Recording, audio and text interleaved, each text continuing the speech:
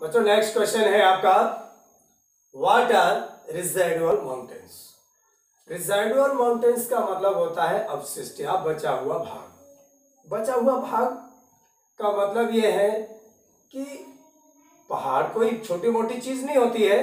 पहाड़ का मतलब बहुत बड़ा एरिया और जो बहुत बड़ा एरिया होता है, वो धीरे धीरे धीरे धीरे धीरे धीरे कटता रहता है। कटने के पीछे कारण क्या है कि जैसे कि प्रकृति में बहुत ही मज़बूत और यूँ कहें कि लॉन्ग प्रोसेस वाले जो एजेंट्स माने जाते हैं, जो हमारी पृथ्वी पर परिवर्तन करते रहते हैं, वो हैं आपके नंबर वन है आपका रनिंग वाटर अब रनिंग वाटर की जब हम बात करते हैं तो रनिंग वाटर कहाँ से आया? रनिंग वाटर का मतलब होता है कि जो ग्लेशियर पिघलने से रनिंग वाटर होता है वर्षा होने से रनिंग वाटर होता है फ़र्स्ट एजेंट हो गया इसका रनिंग वाटर सेकेंड हो गया रेन। रेन से भी आपके जो रॉक्स हैं, चट्टाने हैं, और उसके ऊपर जो मिट्टी होती है माउंटेन्स के ऊपर वो कटती रहती है।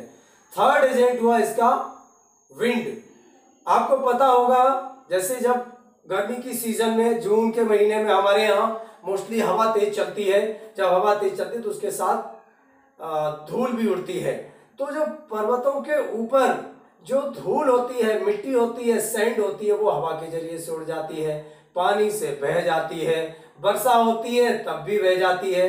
तो थ्री एजेंट्स मेन माने गए हैं, जो कि रिजाइडुअल माउंटेन्स को बनाने में महत्वपूर्ण भूमिका निभाते हैं और जो रह जाते हैं, वो हार्ड रॉक्स जहाँ पर पड़ जाती है, उसके बाद हार्ड रॉक्स ना पानी काटता है काट पाता है ना उसे हवा खत्म कर पाती है, ना वर्षा उसके ऊपर होती वो खत्म कर पाती है।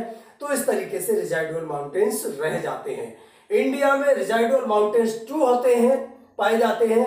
नंबर वन है आपका अरावली माउंटेन्स और नंबर टू है आपका पारसनाथ माउंटेन्स।